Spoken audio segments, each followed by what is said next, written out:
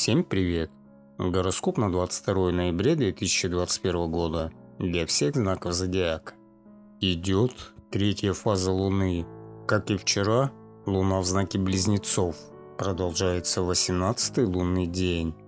6 часов 32 минуты Луна переходит в знак Рака, а с 17 часов 41 минуты и до 18 часов 35 минут следующего дня 19 лунный день.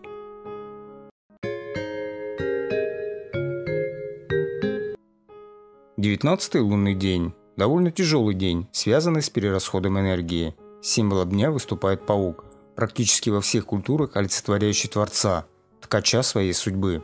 Это означает, что то, как пройдет этот день и последующий за ним, зависит только от ваших действий, мыслей и настроения. В этот день, считающийся не очень удачным, воздух заряжен отрицательной энергетикой. Мрачный день, колдовской, дьявольский. Сегодня легко поддаться искушению. Новая идея, внезапно нахлынувшая на вас, может оказаться очередным обольщением. Несчастье умело расставляет свои сети. Люди оказывают друг на друга плохое влияние. Лучше сегодня ни с кем не знакомиться, так как общение будет тяжелым.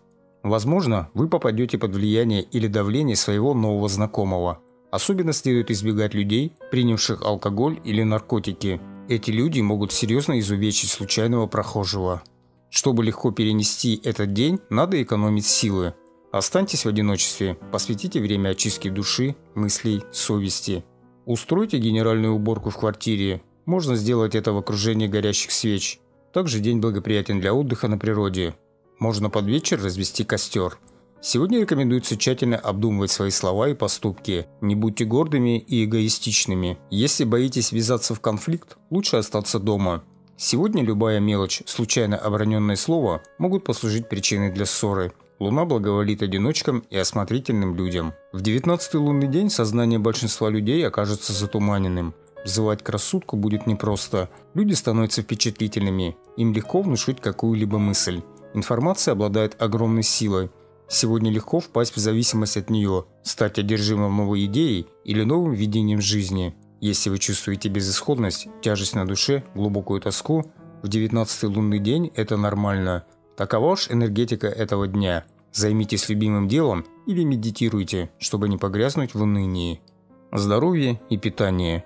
День крайне неблагоприятен для людей с нарушениями психики. Могут возникнуть также осложнения у людей с заболеваниями кишечника – Будьте осторожны и избегайте укусов животных и насекомых, особенно ядовитых. Сегодня природные яды и ядохимикаты очень опасны. Люди становятся мрачными, тревожными, некоторые впадают в депрессию. Все это негативно сказывается на вашем самочувствии и состоянии организма.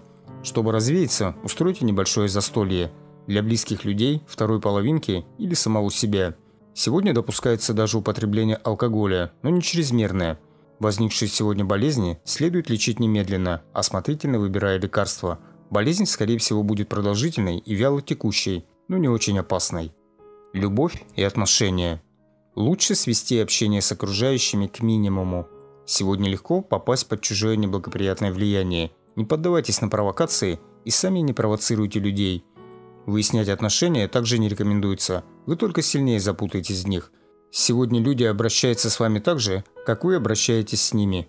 Поэтому будьте осторожны, выбирайте слова и не делайте глупостей. Лучше провести время дома или на природе, отключив телефон. Будьте внимательны к своим родственникам и возлюбленным. Помогите им пережить этот день без конфликтов. Заключение брака в этот день не рекомендуется. Также не стоит планировать на этот день зачатие ребенка. Работа и творчество. На работе занимайтесь обычными делами, не начинайте ничего нового. Попытка начать крупный проект окажется провальной. Отложите серьезные финансовые вопросы и операции с недвижимостью. Также день неблагоприятен для судебных разбирательств. Будьте осторожны и вежливы в общении с коллегами. К начальству можно обращаться с вопросами или предложениями, если они не касаются новых начинаний или крупных дел. Для смены места работы или сферы деятельности день неподходящий. Если в этот день вы отправляетесь в командировку, то она пройдет благополучно. Лучше, если вы едете в одиночку. Сегодня все свои действия надо обдумывать. Один неправильный поступок может свести на нет все ваши начинания. Научные же сотрудники и творческие люди могут спокойно работать с проектами любой сложности. Сад, огород. В 19-й лунный день Земля продолжает делать втох, впитывая энергию Солнца и дождя. В этот момент жизненная сила стремится к корням, поэтому рекомендуется избегать любые повреждения корней, чтобы растение не погибло.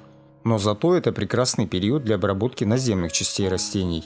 Можно делать обрезку и прививку. На убывающую луну рекомендуют сажать и собирать плоды, находящиеся в земле. К ним относятся все корнеплоды, которые в этот период будут обладать ценными свойствами, так как растения начинают активно накапливать полезные элементы в корнях.